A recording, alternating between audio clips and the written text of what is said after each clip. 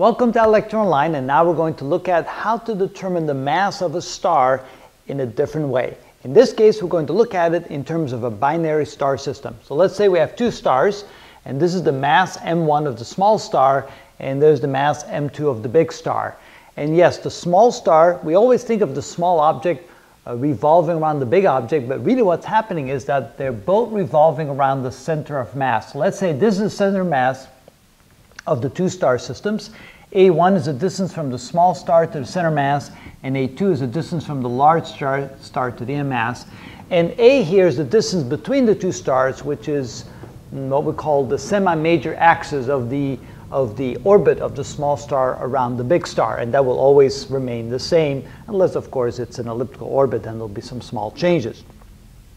What we can say is, based upon the laws of physics and the center mass and the mass of the objects, that A1, the distance from the small star to the center mass, is equal to the total distance A times the ratio of the mass of the other star divided by the sum of the two masses. That makes sense because the larger the other star is, the farther that the small star will be away from the center mass. So that does make sense.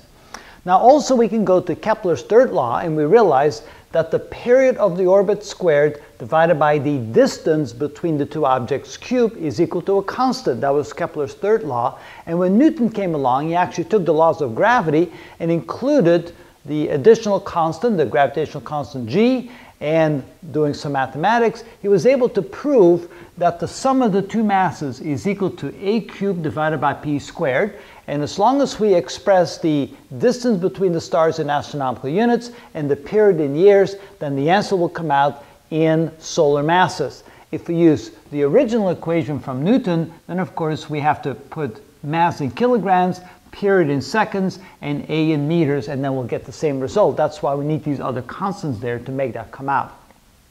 All right, so what we're going to do here is we're going to write this equation slightly different. First, we're going to bring this to the denominator, so we can write this as the total distance between the two divided by the inverse, because if we divide by this number, we have to take the inverse of that. So we have m2 plus m1. I'm going to reverse the 2 right here and divide by m2. So that's the exact same equation, except we took this and put it in the denominator, which means we have to turn it flip it over. Now we can divide m2 into the numerator here. So this can be written as a divided by the quantity 1 plus m1 divided by m2. Like that. So what we're going to do now is we're going to multiply this times this. So now we have a1 times the quantity 1 plus m1 over m2. That equals a. And then if we multiply this through, or actually a better thing to do would be to go ahead and take the a1 and bring it down here. Let's do that next. So now we can say that we have 1 plus m1 over m2 is equal to a divided by a1. And finally, when we bring the 1 across, now we have an equation that tells us that the ratio of m1 divided by m2 is equal to a divided by a1 minus 1. Now, why did we do that? Well, first of all, over here we had an equation that told us that the sum of the two masses in a binary star system is always equal to a cubed divided by p squared.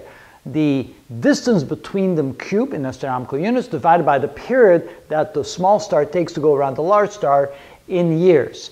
We also found out that the ratio of the masses m1 divided by m2 is equal to the total distance between them divided by the distance from the small object, the small star, to the center mass minus 1.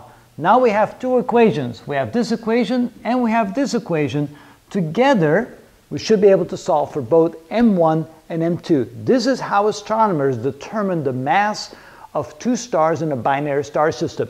What they have to do, of course, is they have to measure the distance between the two stars, and they, that's usually done over years of observations as they see these two stars revolving around the center mass.